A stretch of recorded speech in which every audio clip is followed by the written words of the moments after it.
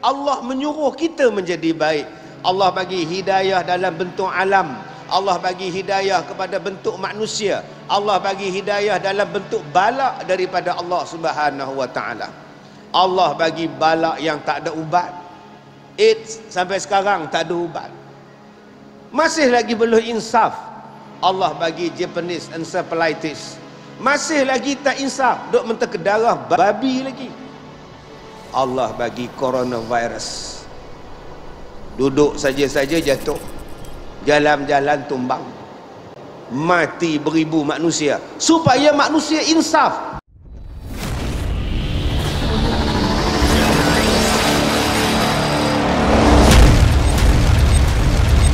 Assalamualaikum warahmatullahi wabarakatuh. Bismillahirrahmanirrahim. Alhamdulillahi rabbil alamin wassalatu wassalam ala Rasulillah wa ala alihi wa sahbihi ajma'in. Qala Allah Ta'ala fi kitabihil karim A'udzu billahi minasy syaithanir rajim. La yaghurrannaka taqallubul ladzina kafaru fil bilad. mata'un qalilun thumma ma'wahum jahannam wa bi'sal milad wa bi'sal mihad. Sadaqallahul azim. Terima kasih tuan nazir. Masjid yang saya hormati seluruh ahli-ahli jatan kuasa masjid dan pegawai-pegawai masjid. Yang saya hormati tuan-tuan dan puan-puan muslimin muslimat mudah-mudahan dirahmati diberkati oleh Allah Subhanahu wa taala seruan untuk kita menjadi baik, seruan untuk kita beriman ini sentiasa ada. Daripada awal kita lahir, dah ada dah seruan itu. Allahu Akbar, Allahu Akbar. Awal-awal kelahiran dah ada dah. Asyhadu an la ilaha illallah. Dah ada dah. Seruan untuk beriman kepada Allah. Sampailah saat kita mati tuan-tuan. Seruan untuk beriman tu masih ada lagi. Ditalqinnya. Laqinu dibaca talqin. La ilaha illallah. Ada lagi.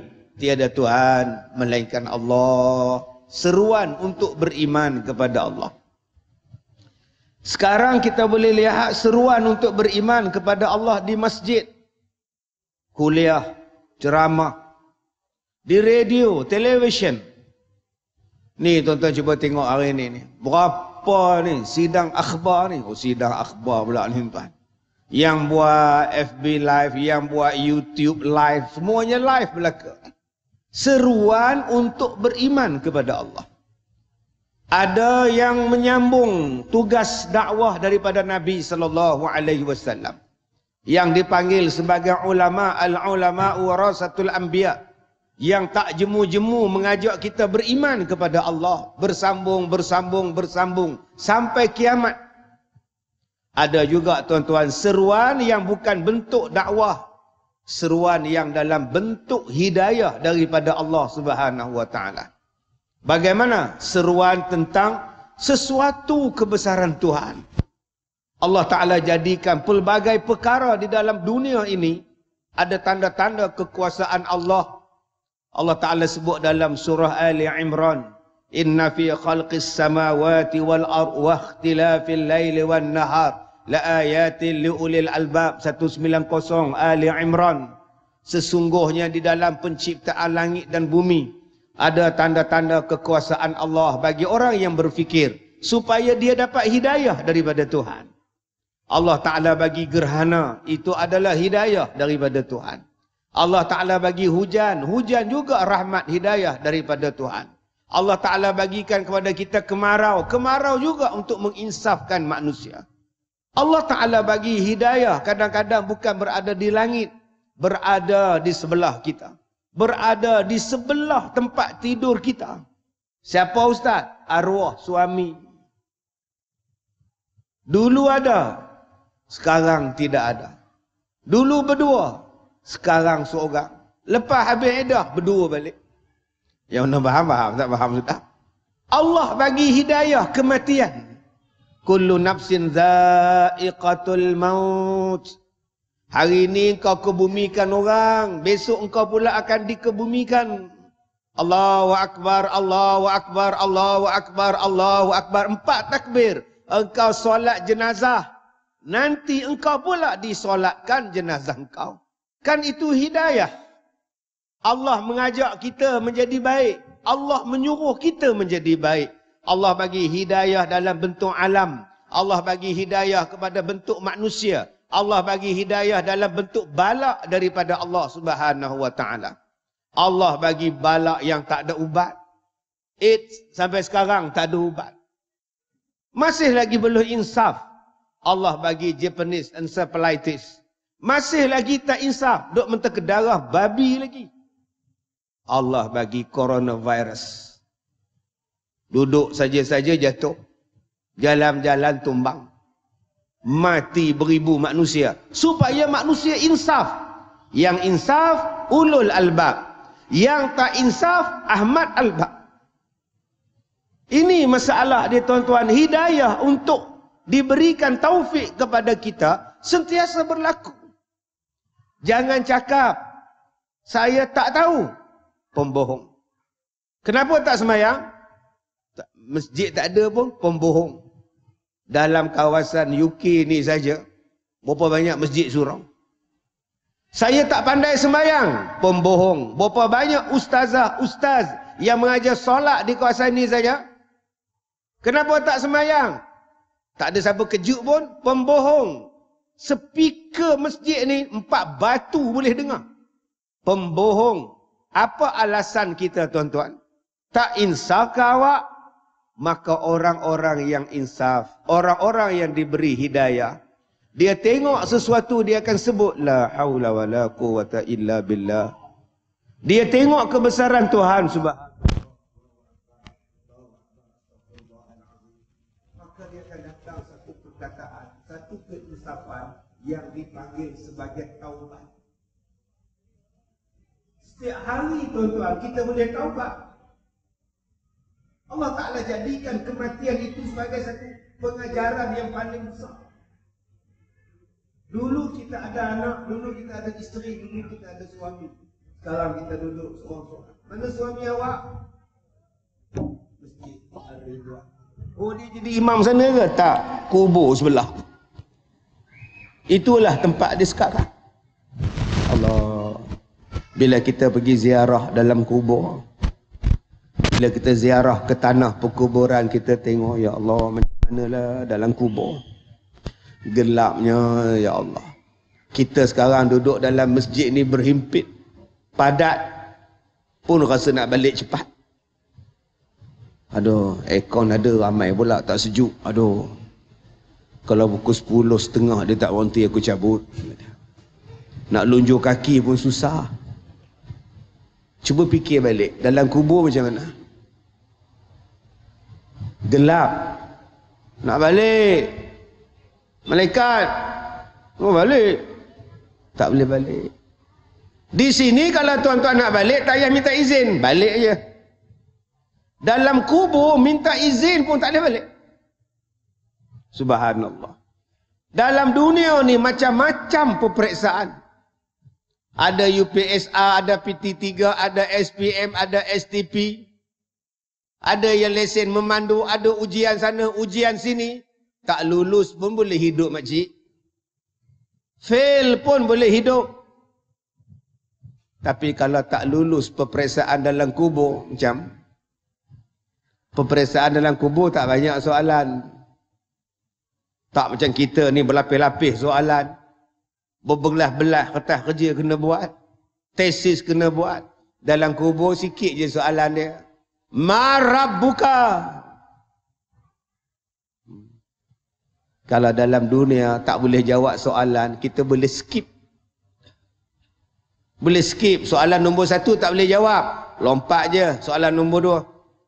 Dalam kubur. Marabbuka. Marabbuka. Marabbuka. Ha? Marabbuka.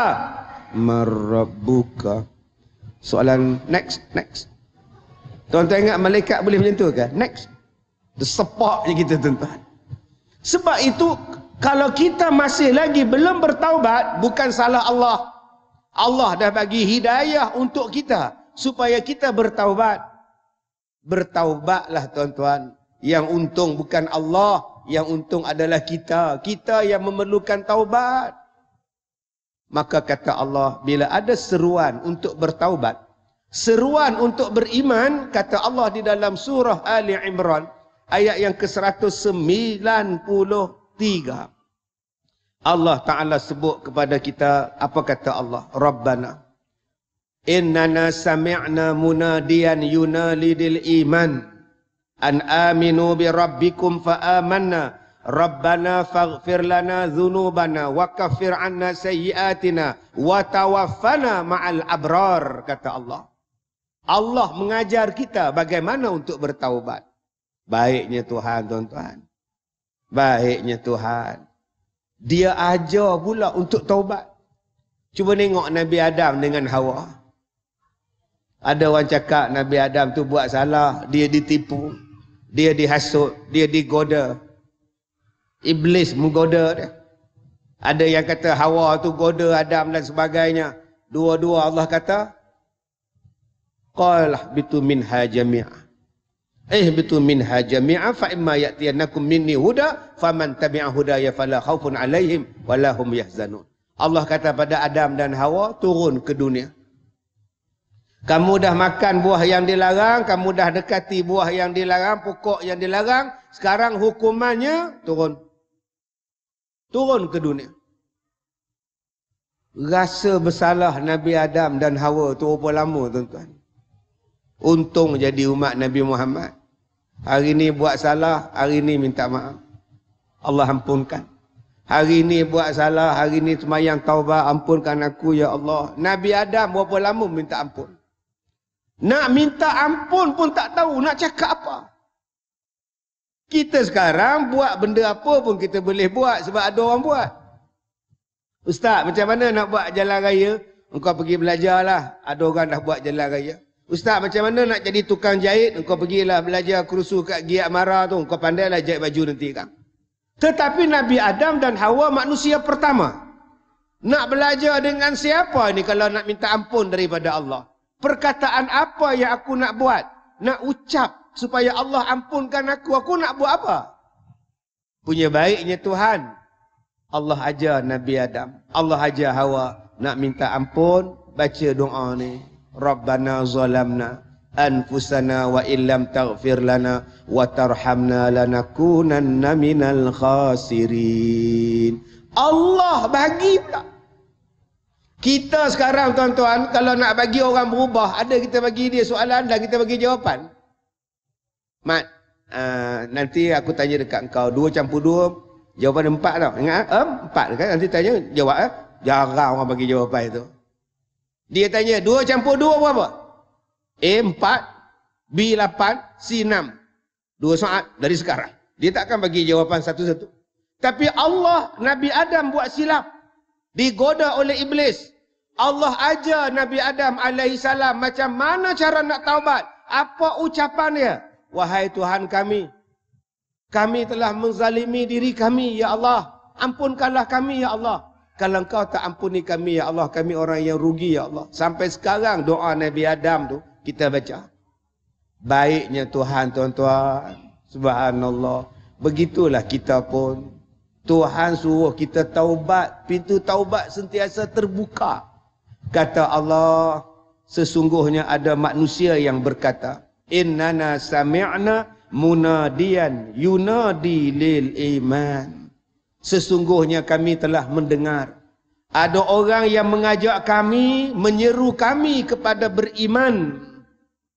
Supaya kami beriman. Kami dengar ya Allah. Maka kata mereka, kami beriman.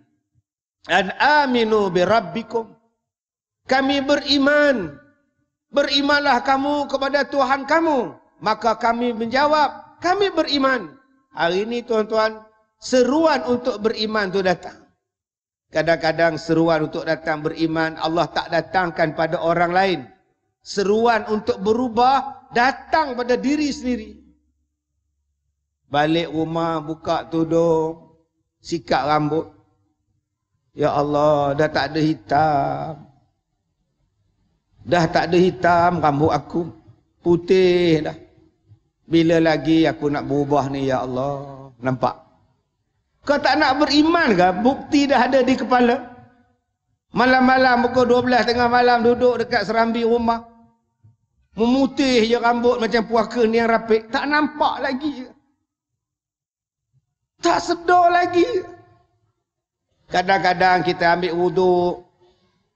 Kita baca doa. Lepas baca doa kita pakai cincin balik. Kita pakai jam balik. Kita tengok tangan kita. Dulu tangan aku ni cantik. Dulu tangan aku ni mulus, pulus. Tak tahu lagi lus. Sekarang ya Allah tangan aku dah kedut. Dulu kalau tengok tengkok ni teringat lagu Fatimah. Lehernya jinjang. Sekarang bila buka, buka tudung nampak tengkok Allah macam itik serati tuan ni. Belumkah lagi kau mau beriman? Kata Allah, Maka kata Allah, akan ada orang menjawab, kami beriman pada kamu ya Allah. Selepas dia beriman kepada Allah, maka Allah mengajar kepada kita tiga doa untuk bertaubat. Rabbana faghfir lana dhunubana. Wahai Tuhan, ampunkanlah dosa kami. Wa kaffir anna sayyiatina. Ya Allah, hapuskanlah kesalahan kami. Ketiga, watawaffana ma'al abrar. Matikanlah kami bersama dengan orang baik-baik. Tiga benda Allah Ta'ala sebut Ali Imran 193. Pertama, ampunkan dosa kami ya Allah. Nombor satu kita minta ampun. Dosa banyak. Banyak dosa. Dulu sekolah menengah. Main bola pakai seluar pendek. Berbulu apa-apa main takra pula jadi tekong pakai seluar pendek asal nak serve bola je mesti angkat seluar tu pergi ke atas nak tiru Pak D tekong Thailand duk lipat lipat lipat seluar tu begini tu Pak D main tekong Thailand dulu sekarang Allah walaupun aku masa itu 17 tapi aku dah cukup umur ya Allah Akak-akak duduk di sekolah dulu pakai skirt labuh. Main hoki pula wakil sekolah. Bergambar ramai-ramai dekat padang bola, padang hoki. Bersimpang siu kayu hoki stick. Tengok balik gambar tu ya Allah. Nampak lutut astagfirullahalazim. Oi banyaknya dosa. Belum masuk lagi gambar kita menikah. Sanggup tu set dekat kedai. Ni Udah macam tudung saji di belakang. Duk bergambar depan rumah. Duk bersilat depan pengantin gini. Bercocok-cocok sanggup ni macam alien ni. Gedik-gedik-gedik kepala ni.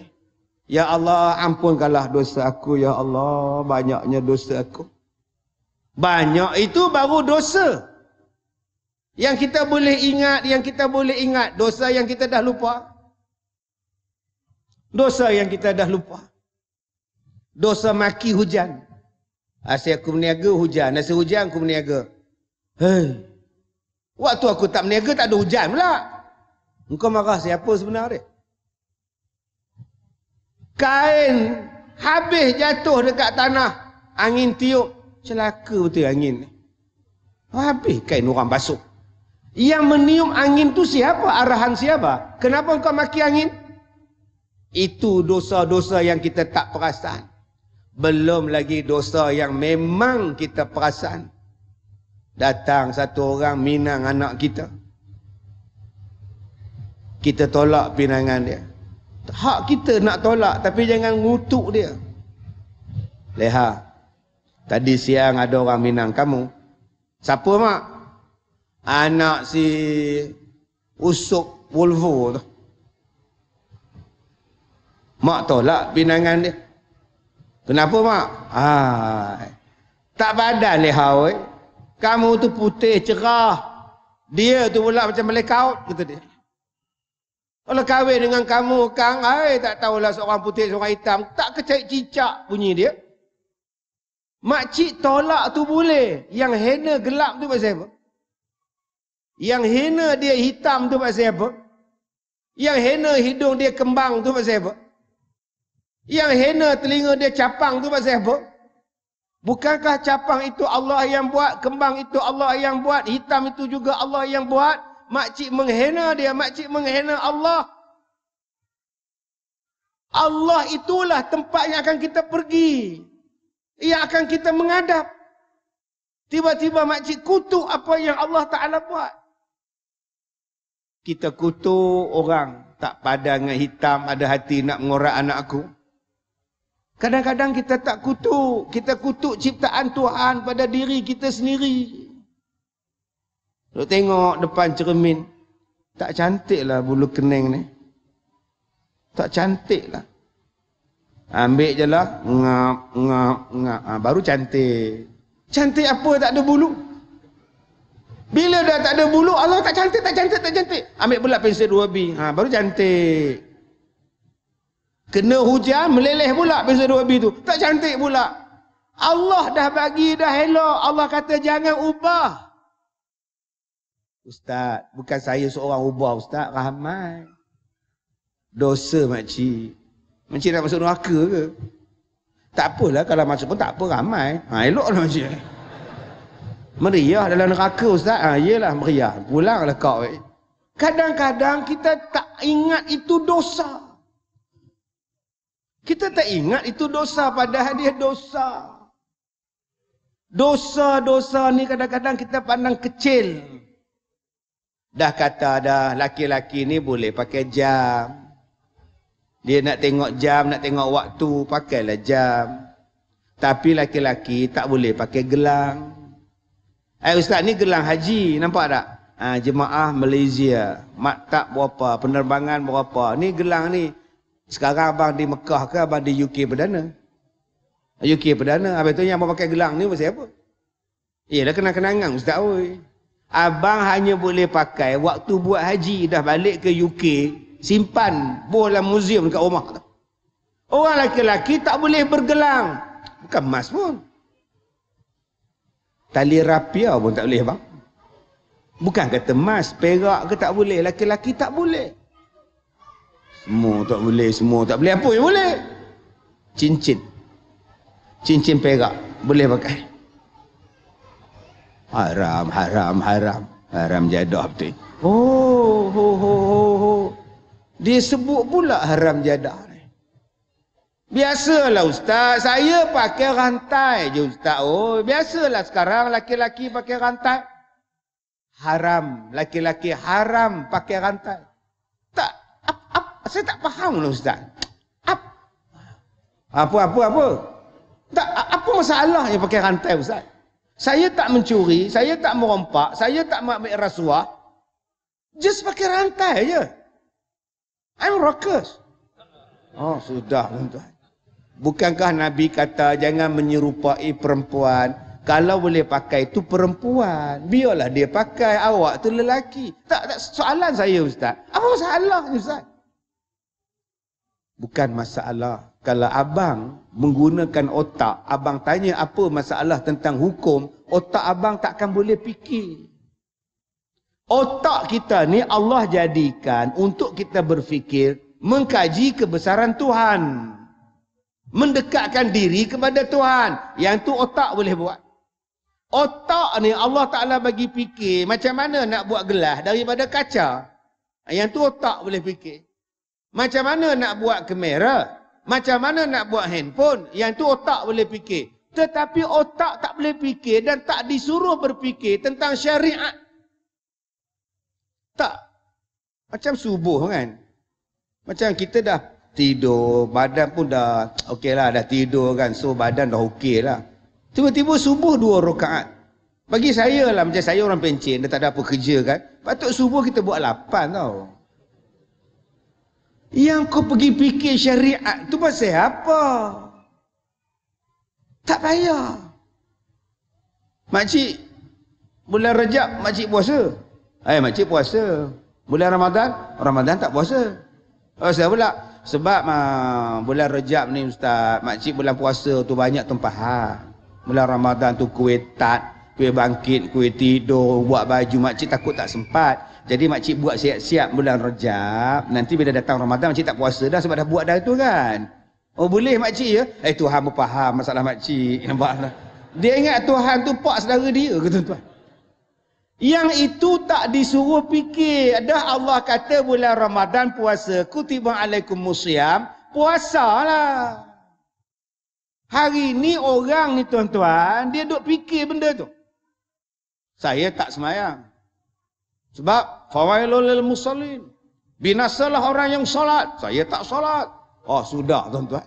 Ni hakikat makrifat terlipat mana pula ni. Sampai pada satu tahap ada pula anak murid dia tuan-tuan. Lah. Saya pun nak jadi macam tu jugalah. Rambut jenis mok. Kalau rambut pendek saya ambil mok lah tuan-tuan ni. Apa kau ni? Kalau saya salah jangan ikut saya. Kalau Tok Imam salah jangan ikut Tok Imam. Sebab ikutan kita bukan Ustaz Kazim. Ikutan kita bukan Tok Imam ikutan kita ialah Nabi Muhammad sallallahu alaihi wasallam. Manusia yang paling betul, yang paling layak kita ikut ialah Rasulullah.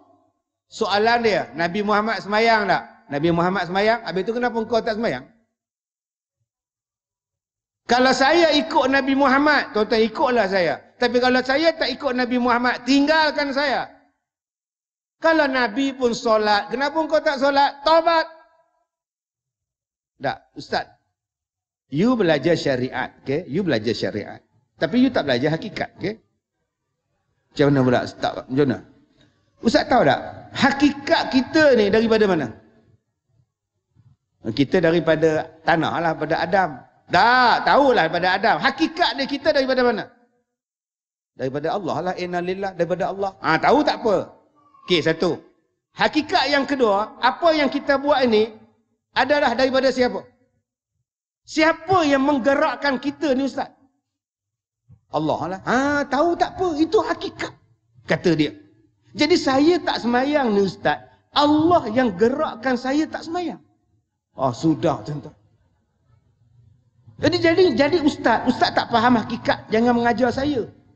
Tuan-tuan ambil penampor, bagi penampor. Pa. Kenapa tampar saya? Hakikatnya saya daripada Allah. Allah yang menggerakkan saya tanpa awak tuan-tuan.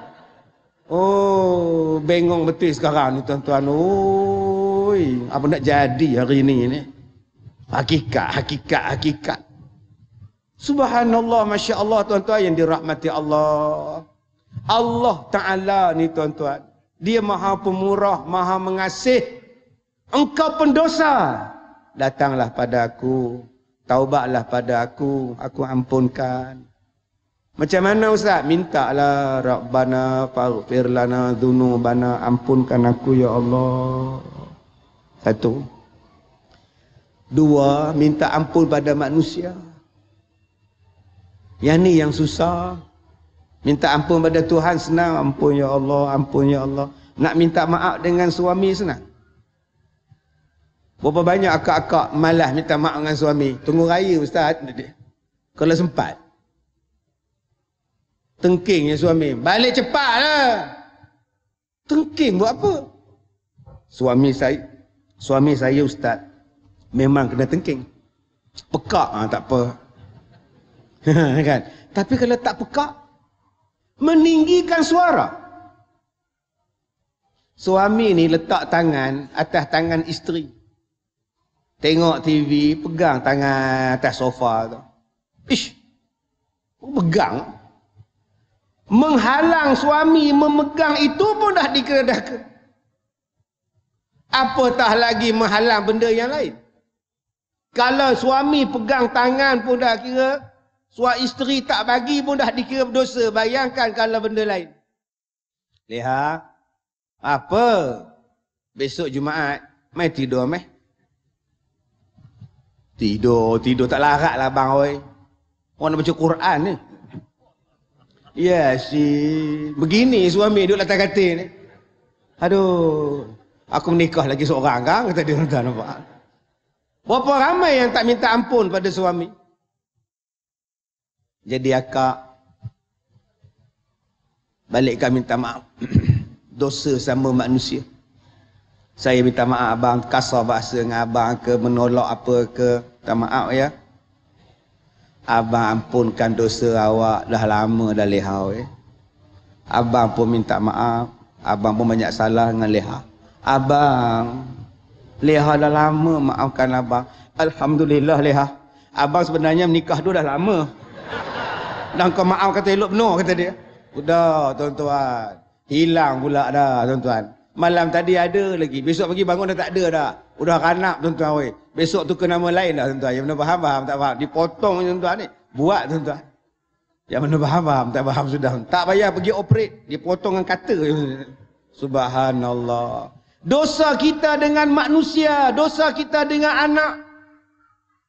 Ni yang paling banyak menyebabkan dosa sekarang ni. Tak tahu penahu apa pun, komen, komen, komen, komen, komen, komen, kutuk, kutuk, kutuk. Kita marah pada dia, kita panggil dia belut. Ha, ini semua belut seekor tu lah, kata dia. Ada kita minta maaf dekat dia. Kita marah, tak suka dengan dia. Ini seorang lagi ni, belut elektrik seorang lagi ni. Belut elektrik pula kita panggil dia. Berimankah kita duk gelarkan orang dengan gelaran yang buruk-buruk? Boleh tak kita menjadi orang yang bijak? Aku tak nak dosa free. Aku ngumpat, aku mengutuk pahala aku solat pada dia. Pahala aku puasa dapat kat dia. Pahala aku sedekah, dia yang untung. Allah. Ampunkan aku, minta maaf, minta maaf. Nombor dua kata Allah, apa yang kita minta? Nombor dua, Ya Allah, hapuskanlah dosa-dosa kami tutupkanlah aib kami ya Allah. Tuan-tuan, ni tuan-tuan, katalah benda ni satu benda. Dicucuk dengan paku. Dinding tu dicucuk dengan paku kita keluarkan sakit tuan-tuan. Dinding tu terkopak kalau paku tu kita nak cabut. Begitulah bandingannya kalau kita ni orang berdosa, dan Allah Ta'ala nak hapuskan dosa, kadang-kadang Allah bagi sakit. Allah bagi sakit. Sebab itu orang yang berdosa bila dia sakit, dia tak marah Tuhan. Dia sebut Alhamdulillah. Tangan Haji macam mana? Boleh angkat lah Ustaz. Tapi tak macam dulu lah. Kadang dia mari lembik, pegang jatuh barang, pegang jatuh. Allah, itu macam mana bawa kereta? Isteri bawa ustaz oi. Saya tangan kanan ni pula pun tak apa juga. Sekarang tak tahu lah ustaz oi. Kadang ialah tangan saya ni lah ustaz oi duk lestik burung dulu. Tangan ni lah ustaz oi dulu ni Allah. Duk ngendak orang tangan ini lah dulu. Duk ngintai orang mandi tengok. Tangan inilah dulu ustaz saya. Dia dulu samsing kampung dusun. Tampar segala orang tangan inilah ustaz. Agaknya Allah nak hapuskan dosa-dosa saya, dia bagi saya sakit. Alhamdulillah. Sebab itu tuan-tuan, orang yang berdosa, kalau dia bertaubat, Allah nak bagi sakit apa pun dia terima. Janji dosa dia dihapuskan. Dia reda. Allah bagi dia sakit macam mana pun tak apalah. Janji aku dihapuskan dosa aku. Supaya di hari kiamat nanti tak ada dosa. Malaikat padam perbuatan jahat kita, padam habis. Tuan-tuan tulis atas kertas tersilap, tersilap. Ambil liquid paper. Dah tak ada. Tapi liquid paper masih ada. Allah kalau dia hapus dosa kita, seolah-olah malaikat tak pernah tulis dan malaikat tak tahu, seolah-olah tak ada langsung kesan. Sebab tu kalau kita bertaubat, Allah turunkan sesuatu penyakit, susah, mudarat, ujian, bala pada kita sabar. Nanti di hari kiamat tak ada dah benda tu. Alhamdulillah. Jangan takut pula. Ah, ini yang malas taubat Ustaz. Tak tahu bala apa pula nak datang ni tu. Yang saya malas taubat tu. Sampai sekarang saya tak taubat Ustaz. Janganlah macam tu. Dah elok-elok bertaubat. Sabarlah kejap. Dulu tak bertudung. Jadi pelakon. Rambut perang sana. Rambut kerinting sini. Rambut sikat sana. begini ambil gambar jadi oi macam-macam datang ke insafan balik pada umrah saya minta kepada semua peminat saya kalau ada gambar saya yang tak menutup aurat tolonglah buang saya tahu ubat nampak lepas pakai tudung job tak ada tak ada job kalau ada job pelakon pun, tukang bawa air je. Letak dekat pelakon utama. Jadi opah dah sekarang. Akhirnya, dia buka tudung. Dia tak sabar. Allah kata sabar, kejap. Nanti Allah ganti kod lain. Buka tudung. Orang ambil gambar masuk Facebook. Orang ambil gambar masuk paper. Dah tak bertudung, ada tanda soal pula. Wartawan temu ramah. Uh, betulkah awak sekarang dah tidak berhijab, tidak lagi mengenakan tudung? Uh, saya tak nak hipokrit. Uh, saya nak jadi diri saya. Sebab dulu saya bertudung pun sebab uh, ex-husband minta saya bertudung. So, I bertudung sebab dia kan. So, I tak naklah hipokrit. I nak jadi macam I. I rasa I lebih selesa kalau tak bertudung. Ya? Memang berdosa tapi I tahu. Uh, itu I dengan Tuhan. Itu I dengan Tuhan ya, gitu dia.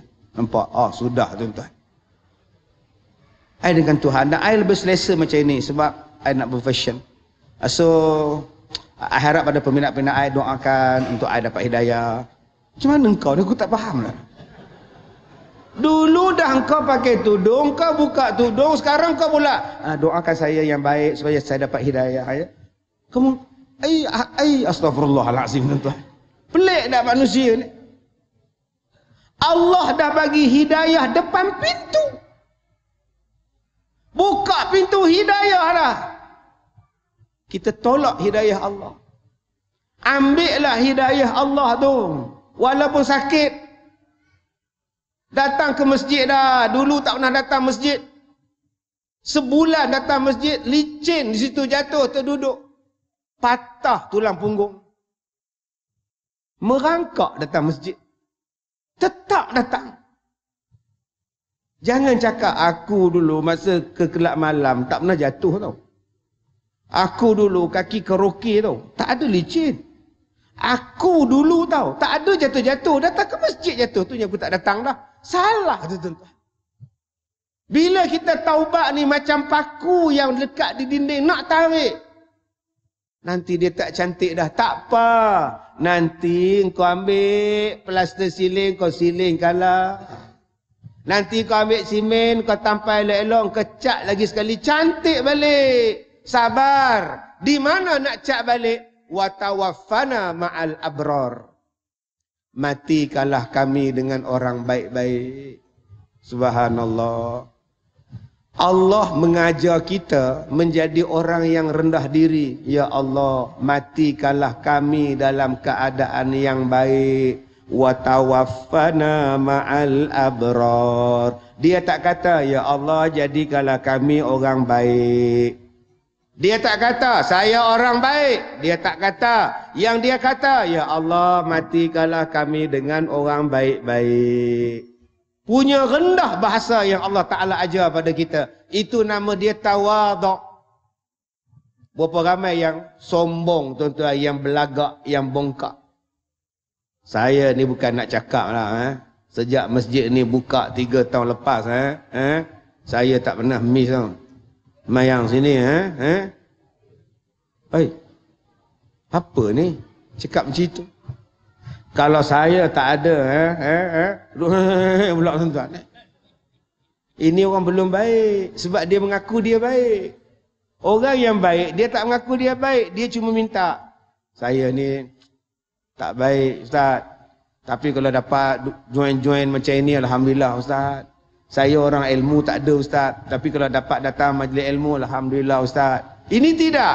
Siapa datang ceramah malam ni? Ustaz Kazim. Apa yang dia ada saya pun ada. tak datang dia tuan-tuan. Udah makan kedai tom depan tu. Tak tu western depan tu. Ini namanya orang sombong. Orang yang tawaduk, dia tak kata dia baik. Tapi dia suka duduk dengan orang baik-baik. Sampailah dia suka. Kalau dia mati nanti bersama dengan orang baik-baik. Subhanallah. Sebab itu orang yang mati baik-baik ini Allah bagi tanda. Kadang-kadang mati dalam keadaan solat. Kita ingat dia tidur. Kita ingat dia tidur. Rupa-rupanya dia mati. Saya dah ceramah 30 tahun. Sepanjang 30 tahun saya ceramah. 10 kematian. Orang yang datang dengar ceramah saya. Tiga kematian depan mata saya. Duduk atas kerusi jatuh ke bawah. Saya ingatkan dia hypo. Rupa dah tak ada. Depan mata saya. Angkat dia. Kak, kak, kak. Hypo ke makcik ni ke apa? Panggil ambulan. Datang MA dia tuan-tuan. Bila tengok. Sudah tak ada Ustaz. Innalillah. Jadi berhati-hatilah orang yang depan. Jadi kalau susah hati duduk belakang-belakang sikit. Tuan-tuan, jom kita mati dengan baik. Mati dengan baik itu apa? Ni. Tiang ni, kita yang wakaf. Kapek ni, kita yang wakaf. Masjid ni orang datang semayang beribu. Surau ni orang semayang beribu. Air orang berwuduk beribu. Gunakan wakaf kita. Pahala sampai, pahala sampai, pahala sampai. Walaupun dah mati. Orang baik. Soalan kita sekarang, mana pahala yang nak sampai pada kita? Di masjid tu aku tak wakaf. Di surau tu pun tak ada derma aku. Anak yatim tu pun tak ada aku tolong. Tak ada pun. Tanah tu pun aku tak wakaf. Kapek tu pun aku tak bagi. Quran pun aku tak wakaf. Sedekah untuk tafiz pun aku tak pernah buat. Sedekah untuk orang miskin pun aku tak pernah buat. Habis tu apa yang nak tolong kita dalam kubur? Bila kau nak jadi orang baik? Orang yang baik itu ada benda yang boleh menolong dia di dalam kubur. Apa dia? Anak yang soleh. Yang boleh menolong dia dalam kubur ialah ilmu yang bermanfaat. Tanda-tanda orang baik. Mati dalam majlis ilmu. Pahala sana, wakaf sana, sedekah sini. Subhanallah. Sebab tu saya nak ajak pada tuan-tuan. Jom kita minta pada Allah. Matikan kita dalam keadaan yang baik. Bila? Bila tuan-tuan masuk duit dalam tabung yang diedarkan nanti.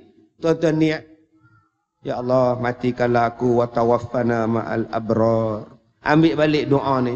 Rabbana faghfir lana dhunubana wa kif anna sayyiatina wa tarafana wa tawaffana ma'al abrar. Kena seribu orang macam ini. Buku dua baru habis tuan-tuan. Wa tawaffana ma'al abrar. Wa tawaffana ma'al Niat dalam hati sudahlah. Jadi saya lancarkan tuan-tuan kutipan dana untuk masjid kita dipersilakan tuan-tuan. Niat tuan-tuan ni. Waktu waktu derma bersedekah ini di antara tempat-tempat yang mustajab berdoa. Jadi yang mana sakit minta sihat. Yang mana anak degil minta lembut hati. Yang mana suami kasar minta lembut. Ya Allah lembutkanlah suami aku ya Allah. Balik rumah lembut sungguh suami.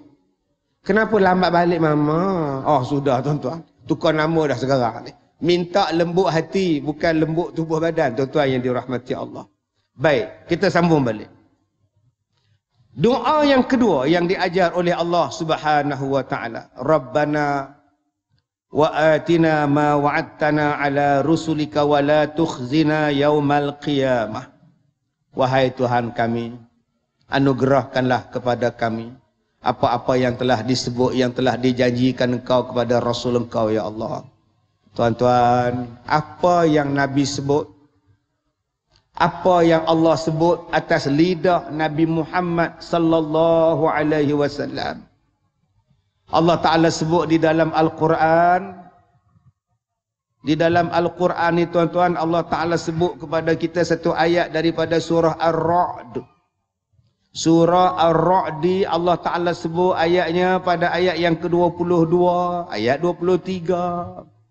Allah Ta'ala kata apa pada kita?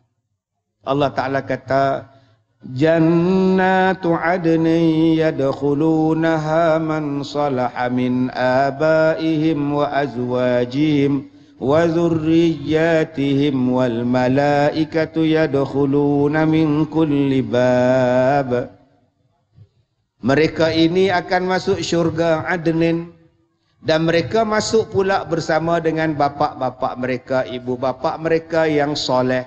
bersama dengan isteri-isteri mereka, suami-suami mereka dan akan masuk syurga juga mereka itu bersama dengan anak-anak mereka. Allah. Eh, tuan-tuan, Kak Leha, Kak Leha datang masjid malam ni seorang. Sama tak seronoknya dengan Kak Nak yang datang dengan suami? Tak sama seronok. Abang Bidin datang dengan isteri naik motor ke masjid. Dua-dua pakai jubah. Isteri pakai telekong. Kona baring masuk masjid ni. Udah macam Superman isteri dia tu. Mana seronok dengan Kak Tipah naik motor seorang-seorang. Kalau dapat bersama keluarga, bersama dengan isteri, bersama dengan anak-anak, best. Tapi nak buat macam mana? Dalam dunia ni mesti berpisah. Dalam dunia ni best macam mana pun mesti berpisah. Tadi petang saya ceramah di Seremban. Dekat masjid tu orang buat kenduri kahwin. Pengantin dia dengar ceramah saya. Di masjid buat kenduri kahwin. Bagus tuan-tuan. Kompom semayang buat-buat. Kompom tutup aurat. Habis je bergambar. Apa pengantin buat? Habis je akad nikah, makan nasi beradab. Apa pengantin buat sekarang? Bergegas ke taman bunga? Tepi tasik ambil gambar. Sampai menerak juru kamera bersila-sila atas tanah. Tidur atas tanah nak ambil gambar. Kadang-kadang pada pokok, sebatang pokok dua pengantin. Yang suami belah kanan yang isteri belah kiri cak. Oh saat lagi isteri buat separuh love suami buat separuh love til jannah Oh bahagia benar tuan-tuan. Sampai bila salah seorang mesti mati. Tak lama lepas tu meninggal pula lagi seorang. Bahagia apa? Tak boleh hidup bersama pun. Ustaz, saya bahagia sangat. Sebab kita Alhamdulillah dapat rumah. Uh, kelengkapan rumah pun semua adalah blender, TV, Astro, semua adalah aircon. Bahagia sangat. Kak, nanti benda-benda tu tinggal kak. Ustaz, saya bahagia sangat sebab dapat isteri yang okey lah, not bad kan. Dia okey, tinggi. Hmm, pendek kata macam model lah Ustaz kan. Okey lah, syukur lah. Dia kentut busuk tak abang? Ah, yang tu jangan cakap lah Ustaz. Dia ni kaki jering Ustaz memang busuk gila Ustaz. Oh. Itulah manusia. Manusia. Isteri saya ustaz mula-mula dia buat air 3 layer ustaz. Kemudian avocado lah ustaz, jemur lah ustaz. Saya pun tak tahu ada sekarang sebenarnya air kosong je ustaz. Itulah dunia. Nak cari kesempurnaan bukan di sini. Nak cari kesempurnaan hanya di syurga. Suami segak, segak. Suami muda, muda. Isteri muda, sebaya semua. Takkan mati dah dalam syurga. Takkan ada benda busuk dalam syurga. Tak ada kentut mentut dalam syurga. Tak ada makanan yang menjemukan dalam syurga. Sebab itu target kita bukan dunia. Target kita akhirat. Itulah gunanya orang yang bertaubat. Allah janji syurga. Di syurga ni minuman sedap. Minum, minum, minum, minum. Besok ketandas. Apa sedapnya? Pakai gelas yang mahal. Akorok, kelorok. Lepas pakai kena basuh. Apa bestnya? Yang bestnya pinggan tak kotor. Yang tak kotor ni dalam syurga. Itu target kita. Sebab tu kalau ada sikit-sikit masalah dalam dunia, sabar. Nanti Allah bagi syurga. Allah gantikan dengan syurga. Allah janji. Aku akan temukan balik engkau Aku akan temukan balik bapa engkau, mak engkau, isteri engkau, anak-anak engkau, suami engkau dalam syurga. Allah janji. Yang ni target. Atau yang duduk sedih apa siapa? Dia duduk menangis sampai ganggu tu imam. Nak kapankan mayat pasal? Dia goncang-goncangnya mayat suami dia. Abang, bangun abang. Abang. Abang. Buatnya suami tu jawab, apa? Mati pula dia tuan-tuan. Hai, letih tuan ni. Ingat target kita akhirat ni doanya. Ya Allah, berilah apa-apa yang telah kau janjikan pada Nabi kau pada kami. Ya Allah, pertemukanlah balik kami dalam syurga. Ya Allah. Tak rindukah kita pada mak kita, ayah kita, anak-anak kita, suami kita, isteri kita.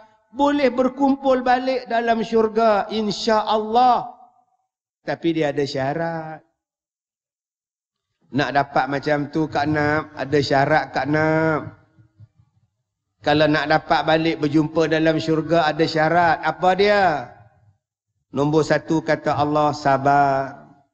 Wallazina sabaru betigha'a wajhi rabbihim sabar.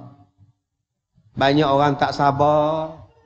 Bila datang ujian, dia potong tak sabar. Banyak ujian bila datang ujian dia jadi murtad, dia tak sabar. Bila anak dia cacat, dia malu, dia kutuk anak dia, dia tak sabar. Bila Allah suruh semayang, dia tak nak semayang, dia tak sabar.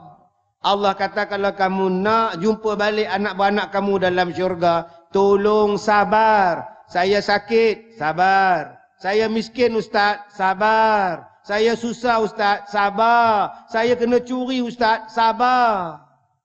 Nombor dua kata Allah, orang yang solat. Wa aqamus solat. Orang yang boleh jumpa balik anak-anak dia dalam syurga, ialah orang yang solat. Sebab itu orang yang bertaubat, ialah orang solat. Di masjid Ar-Ridwan 10 tahun dulu saya mengajar tuan-tuan. Saya rasa lebih pada 10 tahun, mungkin 15 tahun dulu. 15 tahun dulu saya buat mengajar Masjid Ar-Ridwan. Habis mengajar tu ada satu laki-laki dia jumpa saya, dia tarik kat belakang. Dia buka baju dia. Bapa. Orang Perak, bapa. Badan ni penuh dengan tetu. Dia selok belakang dia pula. Bapa. Tu dia tuan. Orang Perak tak ada mak, bapak saja. Bapak. Jarang sebut mak, jarang tuan. Nak menunjukkan besar tu bapak. Orang KL macam tuan-tuan ni, fuyo. Fuyo. Nak fuyo tak habis-habis. Besar gila. Gila je tuan. Datang orang Kedah, tu dia. Punya banyak, banyak nak mampu. Nak mampu pula dah. Ustaz, Allah terima taubat saya.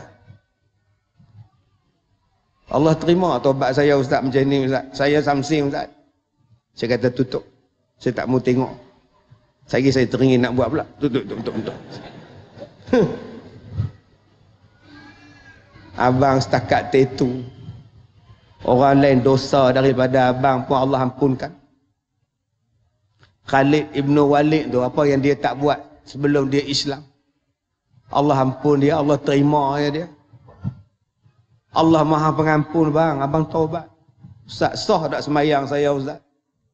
Ni kalau saya mandi junub sah tak Ustaz? Abang, kalau abang mai tanya saya macam ni, saya nak balik Ipoh jauh. Apa kata abang datang sekolah saya, duduk dalam tiga bulan, abang belajar habis-habis, abang semayang lah. Abang mari belajar. Kalau abang tu macam ni, tu tak belajar abang. Itu yang saya cakap pada rockers-rockers. Kau orang tahu tak? Dulu rockers, yay yay, dulu. Datang keluar tiga hari pakai serban. Jadi penceramah pula dah. Sabar dulu. Bukan dengan sebab pakai serban, janggut ada sikit dah boleh jadi ceramah. Saya kata, pergi mengaji, tak ada kitab belajar. Saya takut hari ini mudah sangat jadi penceramah tuan-tuan. Asyik tobat je. Saya dulu gaji 30 ribu. Tidur atas duit. Apa yang saya tak buat? Di mana ilmu kau? Sekadar cerita gaji 30 ribu, tidur atas duit, minum arak, joget sana. Itu bukan ilmu. Kalau orang yang taubat, dia tak sepuk dah benda-benda tu. Sebab dia akan menimbulkan kemegahan. Tetu di mana tetu? Sini. Setakat di sini apa ada? Saya seluruh badan tau. Ni tekak badan buat ni. Tapi sekarang sudah taubat. Belum taubat sebab awak bangga. Berapa banyak artis-artis yang datang sekolah saya. Mereka duduk rockers-rockers ramai tuan-tuan. Mereka duduk belajar. Tak ada kitab. Mengaji balik. Antaranya ijam medisin. Medisin ke nama. Tika begini.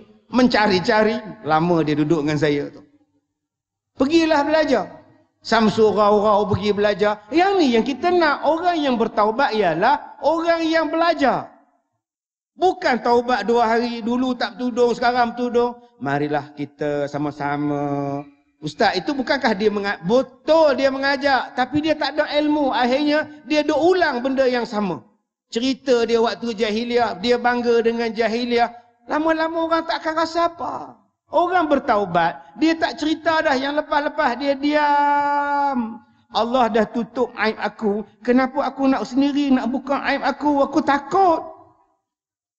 Allah nak tutup aib aku tiba-tiba kita pula yang offer diri kita untuk buka aib. Tak nak tuan-tuan. Minta pada Allah.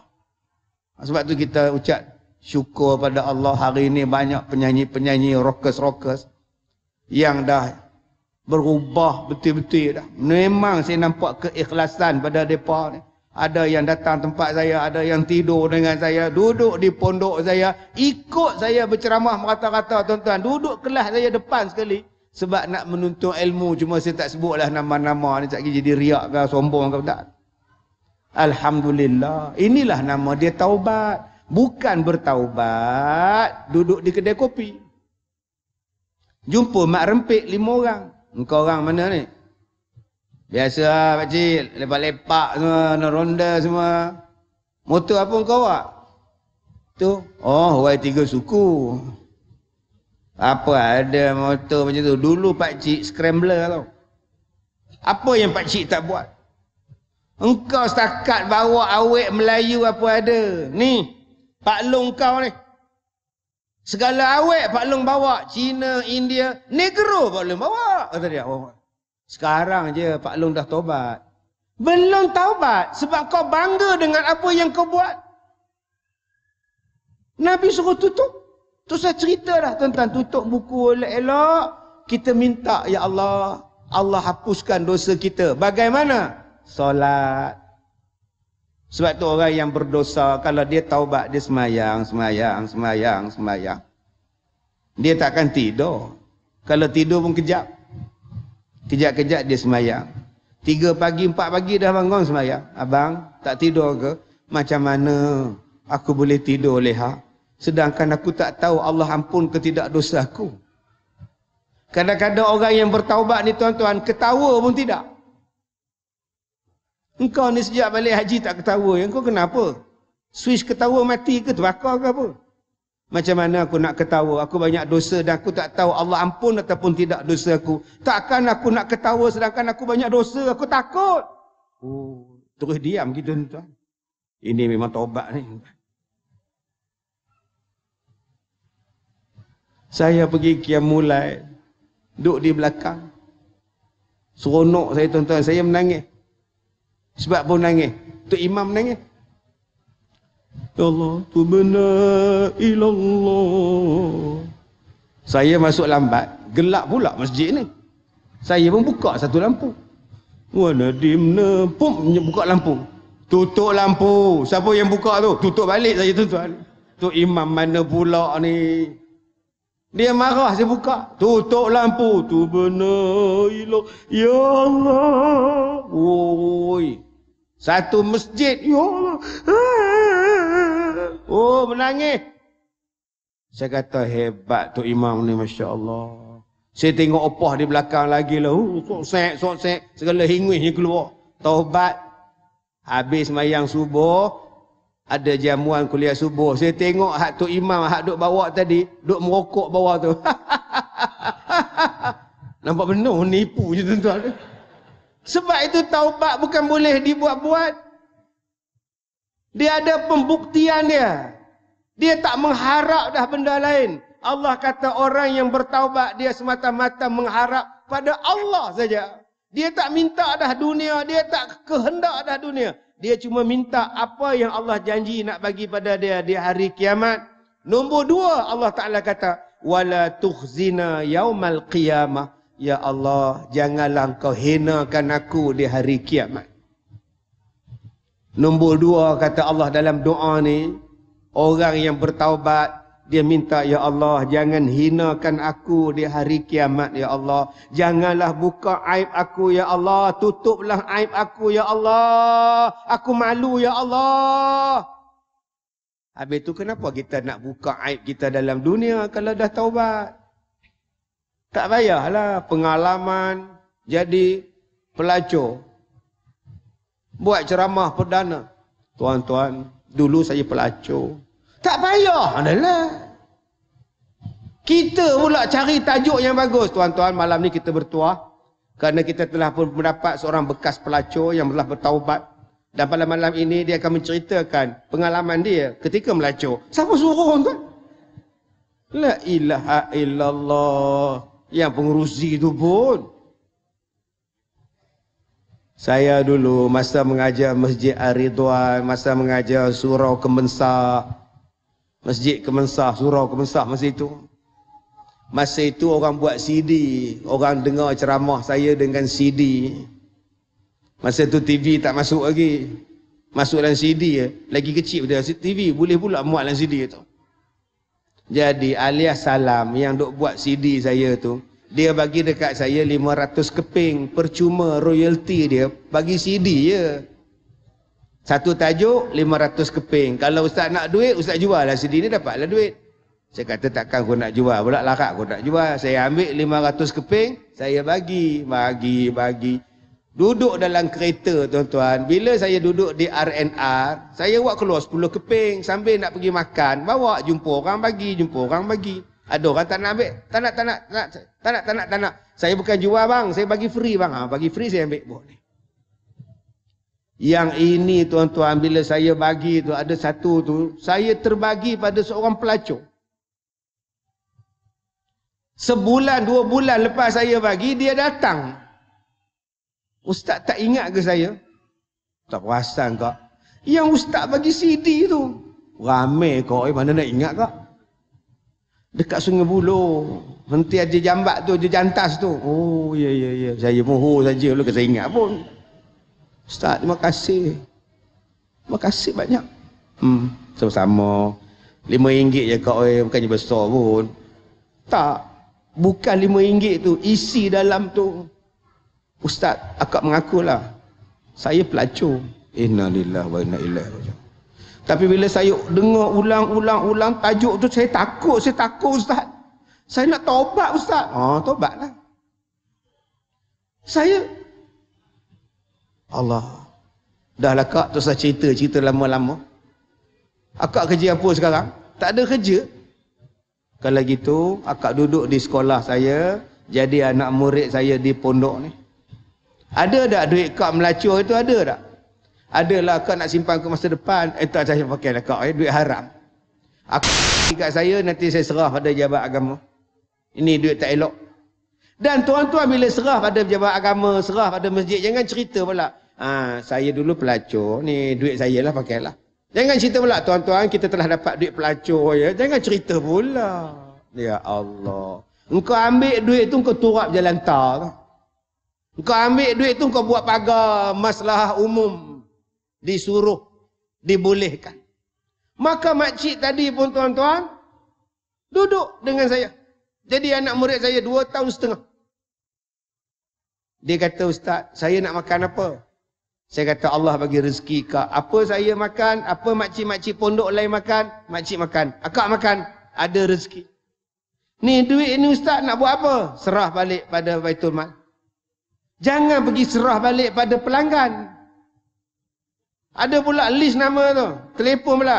Ha, Zul, datang ambil. Kamu hari tu empat kali. Ha, empat kali, kali ngopon ambil balik ni. Janganlah pulang balik tuan-tuan. Oh. Dah kata tobat ustaz, pulangkan balik pada orang. Tak payah. Yang Zul pun datang. Dah pencing ke? Bukan Zul sini ya. Tuan-tuan marah saya kan pula. Kita minta ampun betul-betul. Tuan-tuan lepas tu dia tarik orang. Kawan dia lagi dua tahun setengah dia orang belajar. Daripada datang tu pakai selendang je. Keluar tu tuan-tuan pakai purdah. Saya tak pastilah tuan-tuan dia pergi mana sekarang. Saya pun dah sekolah. Saya dah lima belah tahun. Waktu saya mengajar di Kemensah tu pun saya belum buat sekolah lagi. Dia duduk pun dah lama dah tuan-tuan. Mudah-mudahan kekalah dia dengan hidayah daripada Allah Subhanahu Wa Taala. Mudah-mudahan besok di hari kiamat Allah tutup aib. Saya ada aib, tuan-tuan pun ada aib. Kalau nak ditutup aib, tolong jangan buka aib orang. Tok Imam yang baca khutbah ni pun ada aib. Waktu dia muda dulu. Kita balik kampung, raya, semayang raya, kita duduk tengah-tengah mengadap mimbar. Kita tengok Tok Imam. Ini bukan Arifin ke?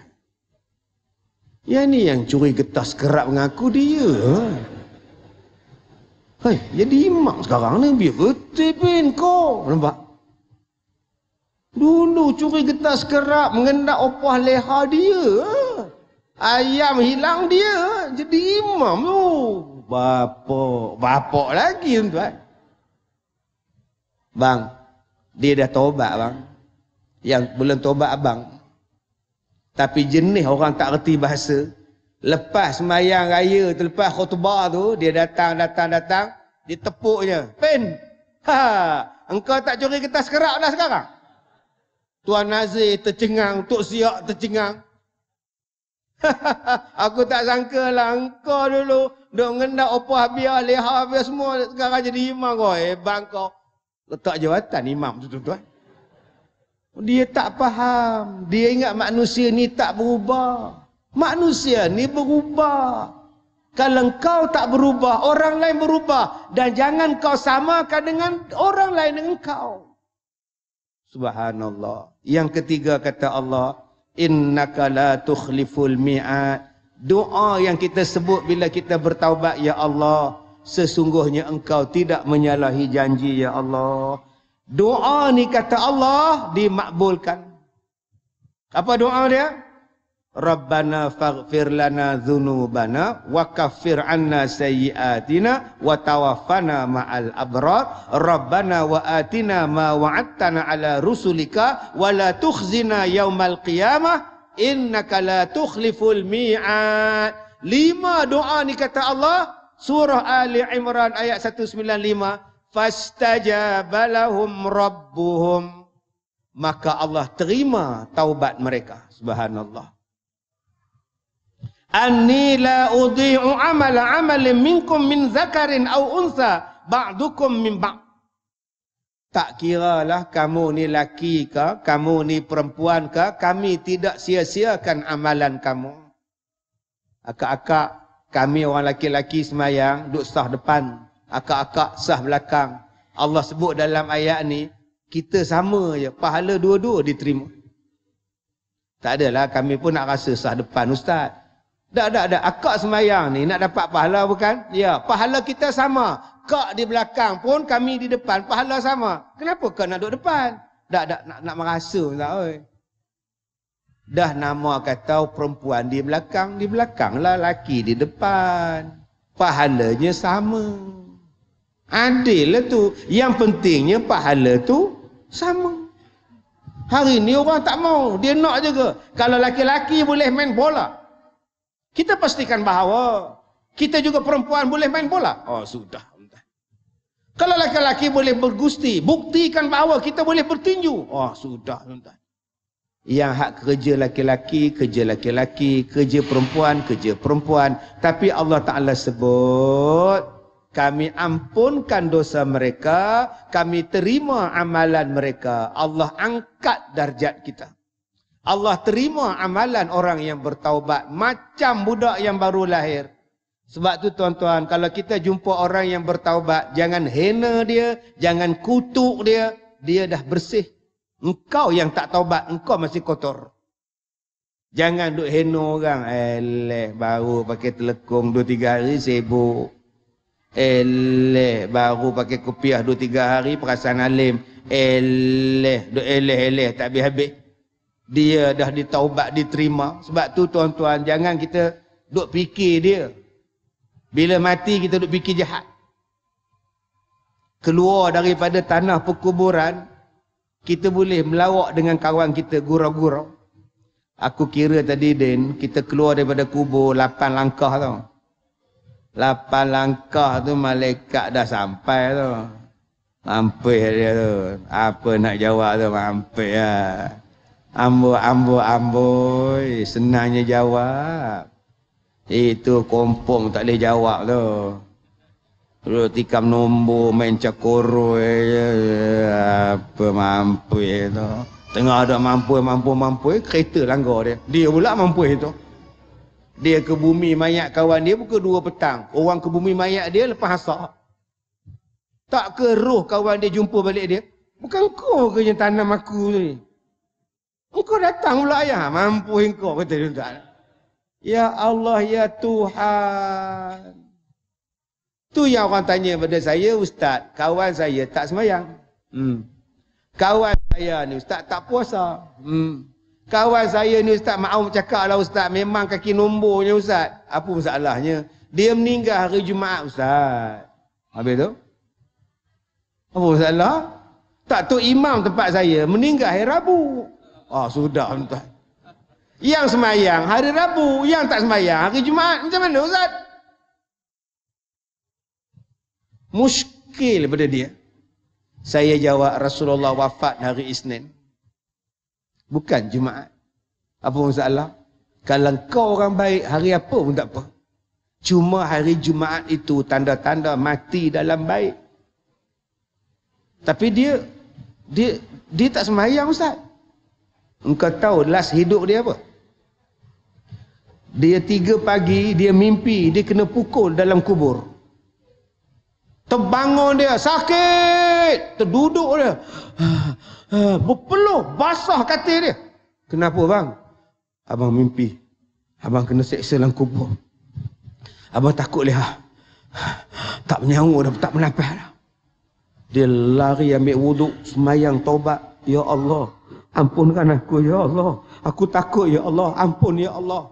Basah, lenjun baju dia tuan-tuan taubat dia. Sujud punya lama, ampun aku ya Allah. Ampunkan aku ya Allah. Sampai ke subuh, doa ampun ya Allah, ampun ya Allah, tolong ya Allah, tolong ya Allah. Pukul tujuh setengah, tak habis lagi, doa ampun. Isteri kata abang, ampun-ampun juga. Saya ni lapar, pergilah cari nasi lemak ke apa ke. Yang isteri ni kerja mata kedarah je tuan-tuan. Suami pun ambil motor sambil dia, ya Allah, ampunkanlah aku ya Allah. Dia buat motor, tiga suku tu. Elok nak masuk ke rumah dia, kereta langgar dia. Bawa ke hospital, meninggal. Orang kampung cakap, dia meninggal. Oi, Mak Topoi mati ya? Bila? Pagi tadi, langgar kereta depan rumah dia. Mampu ya, eh, itu kaki tak semayang tu. Nampak orang kampung tak? Kaki tak semayang tu. Lingkup tu, tak ada tobat tu. Nampak? Eh, mana kau tahu? Kita dinilai pada penutup. Ni saya ni pagi tadi di TV3.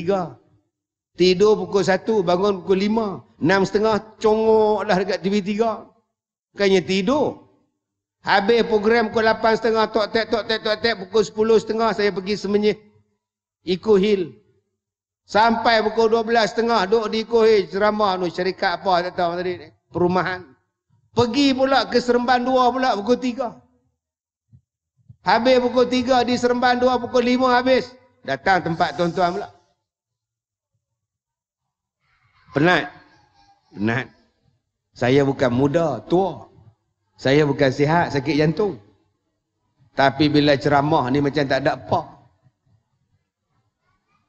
Besar ke pahala saya? Oi, besar lah ustaz. Allah tak nilai yang tu. Mati saya macam mana? Balik lagi saya duduk kat hotel dulu.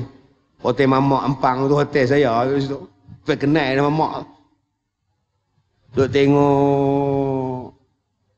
Duk seorang pula orang rumah tak ikut. Telefon PA. Den. Boring ah. Jom karok. Gi karok. Gi karok. Datang pula. Ad bawah ke apa. Encik mau ayam ke? Ayam kampung ke ayam apa? Tengah duk karok, karok, karok, kena karen. Karok, karen, mati.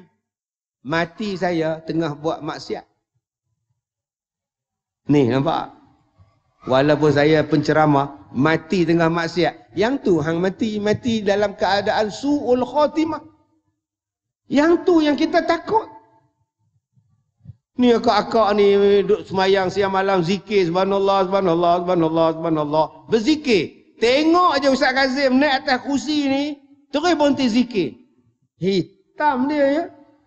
Elok hitam dia ya. Puk mati. Mati dalam ngumpat nak buat tuan Sebab itu kita kena jaga betul. Orang bertaubat, dia jaga mulut, dia jaga telinga, mata semua dia jaga dia nak mati dalam baik dan Allah akan jemput dia dalam keadaan baik. Siapa cakap? Allah cakap.